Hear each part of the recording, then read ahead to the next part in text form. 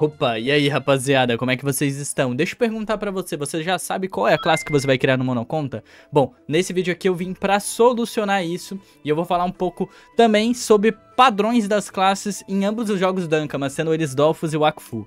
Criando seu personagem, aqui você vai ter uma variedade de 18 personagens diferentes.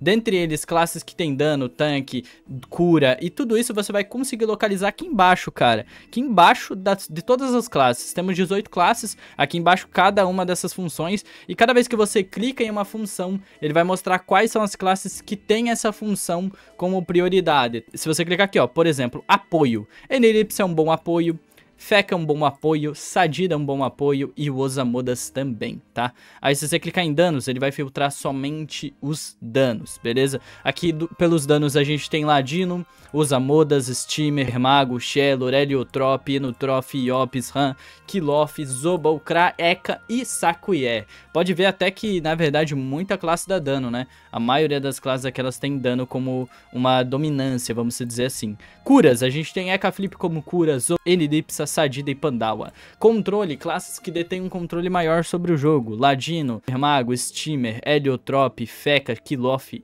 Eka Flip e Kra. Invocação, somente duas classes invocam, sendo elas Sadida e Osamodas. A gente também tem os tanks, que é o Panda, Steamer, Iop, Feca, Kilof e Sakwe. A gente também tem os, as classes que deem entrave, Enotrof e Shello. Aí, agora a gente também tem as classes de posicionamento, que é o Pandal, Shello, Heliotrop, Zobel e Saquer. Outra coisa importante de falar pra vocês, deixa eu desmarcar aqui, é o seguinte. A gente também consegue localizar aqui em cima a dificuldade das classes. E a dificuldade, ela vai da classe mais fácil a mais difícil. Então, conforme você vai passando, você vai vendo que vai aumentando as estrelas das classes, ó. Por exemplo, aqui do Kilof pro Yop já aumentou para duas estrelas, tá? E aí depois, passando do Heliotrop pro Steamer, já subiu também mais uma estrela. Então, acabou aumentando para três estrelas. Então, aqui pela minha média, pelo que eu tô vendo, são seis classes que são em uma X dificuldade, depois a gente tem mais seis classes em outra X dificuldade, que é a dificuldade 2, e mais seis classes na dificuldade 3. O que eu recomendo para você? Cara, você tem que pegar o perfil de qual é o seu estilo de jogo. Pô, eu jogo MMOs RPGs. Pô, Brunachos, eu gosto de jogar tanque. Então você vai, coloca tanque e dá uma lida em o que a classe faz. Você gosta de ser tanque mais posicionador? Então seria uma boa alternativa o Panda. Porém, se você é uma classe que gosta de tancar e dar dano ao mesmo tempo, o Kilof é uma boa opção. O Sakura também, se você gosta de classe que é Berserker, onde ela dá dano e ela fica, ela dá quanto mais dano ela toma, mais dano ela dá, que é aquela classe, né, que é Berserk, muito da hora. A gente também tem o Feca, que ele é uma classe mais com apoio e tanque ao mesmo tempo, tendo um controle da hora. O Panda ele é realmente bem mais posicionador. O Yop, ele é um tanque, mas ele é muito mais puxado pro dano. A gente também tem o Steamer, tá, que é um tanque, mas ele também tem muito dano e controle. Então tudo isso é coisas que você tem que colocar no seu estilo de jogo. Então, se você gosta de curar, por exemplo, aqui tem algumas boas alternativas. É a Flip, ele dá muito dano e ele também cura legal. Ele tem um controle da hora também. A gente também tem o Zobo, que faz a mesma coisa, dá dano, cura, tem posicionamento. A Eniripsa, que é uma classe mais voltada pro apoio mesmo. Ela cura, dá apoio e tudo mais. Inclusive, outra parada importante na hora de criar a sua classe, além de você olhar muito bem essas categorias aqui embaixo, é você olhar uma perspectiva panorâmica da classe. E como que você vai fazer isso? E nada mais é que o que? Você saber como que a classe se comporta no jogo em si. Por exemplo, vou dar um exemplo muito bom aqui. O Ladino, ele se comporta muito semelhante ao Dofus, cara. Olha que doideira. No Dofus, as bombas também dão dano, e elas dão dano brutalmente alto, em detrimento da quantidade de tempo que elas estão vivas, né? E você também consegue buffar as bombas em si, é basicamente a mesma jogatina que o próprio Dofus. O Pandawa é a mesma coisa também do Dofus, cara. Ele tem um posicionamento absurdo, um tanque muito legal. Por outro lado, aqui ele também tem uma cura da hora, apesar de no Dofus também ele ter uma cura legal. Porém, não é tão alta essa cura. Aqui, por outro lado, ele realmente tem mais essa questão. Mas, de fato, ele funciona bem por cima, quase igual.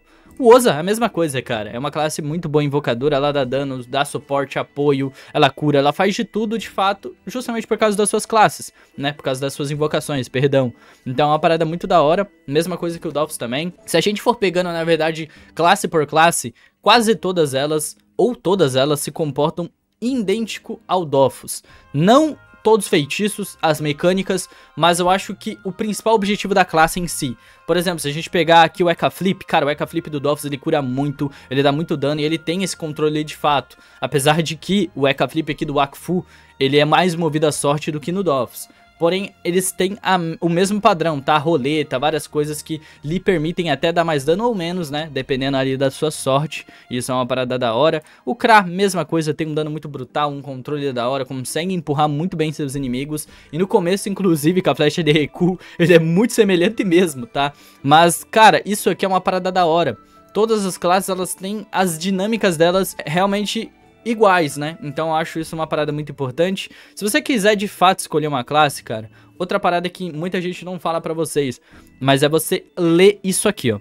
Sério, eu acho que muito da base do jogo vai pelo diálogo. Então, cara, tenta compreender a classe que você tá jogando, dá uma lida, porque principalmente esse texto aqui, o que eles mostram, eles falam o porquê que a classe tem controle, o porquê a classe tem dano, o porquê as classes têm especialidade. Por exemplo, distância. Especialidades no combate à distância. Os classes são eficazes a partir do momento em que ninguém se aproxima. Dispõem para isso de diversas maneiras de escaparem de seus agressores. Então eles têm uma especialidade de conseguir empurrar, projetar inimigos, esse tipo de coisa, assim como é no Dofus, né? Então isso é uma parada bem legal. Aqui, os Kras podem tanto se focalizar em inimigos quanto distribuir os danos sobre vários alvos ao mesmo tempo. Bem protegidos, eles podem ser o maior triunfo da equipe, ou seja, eles têm bastante dano tanto em, em zona quanto também em alvos únicos. Controle.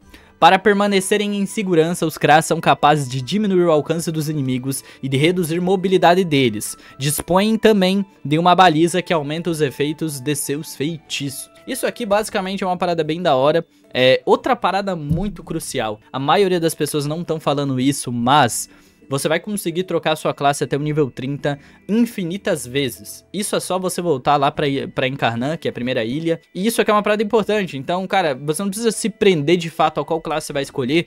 Porque, cara, até o nível 30 você vai conseguir balizar ali, trocar a classe. Pô, não curti jogar muito de Kill Off. Eu acho que não foi um bom tanque que eu escolhi. Eu acho que eu vou escolher outro tanque. Sei lá, vamos pegar o Shimmer dessa vez. Aí você troca sei lá, lá no nível 15, 20 pra Steamer. Você acaba gostando da classe e permanecendo com ela. Isso é uma alternativa que você tem. Então eu acho que vai muito mais no estilo de jogo em si do que no que ela vai fazer no endgame, o que ela vai fazer no early game e tudo mais. É, não se prendam a classes que de fato vão se sobressair no começo ou se sobressair lá no final. Porque isso daí, eu acho que você vai tirar muito essa questão do MMORPG, que é descobrir uma classe e se divertir de fato, né? Não adianta você escolher uma classe apelona e acabar não curtindo muito jogar com ela. Enfim, existem 18 classes, essas foram algumas dicas que eu entendi, tá, sobre o jogo. Claro que eu não vou ficar aprofundando demais aqui falando sobre builds, sobre isso, sobre aquilo, até porque eu não conheço tanto do jogo, é, mas definitivamente é, classe não é uma parada que você tem que se prender demais e se limitar a escolher uma classe só. Você pode trocar de classe, pode jogar com várias classes ao mesmo tempo. Isso tudo é opcional.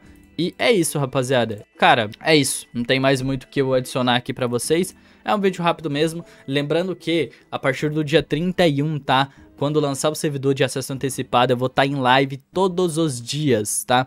Então eu acompanho, espero vocês lá na minha presença. Vou deixar os links na descrição.